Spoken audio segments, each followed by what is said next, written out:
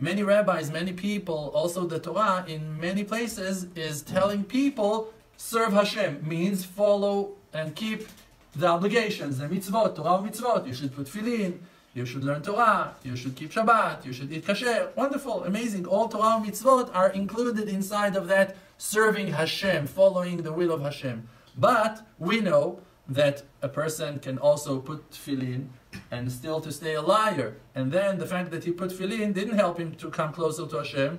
And the opposite even might reject him from Hashem if he will go in a foreign way while putting tefillin. So the truth is needed while keeping Torah mitzvot.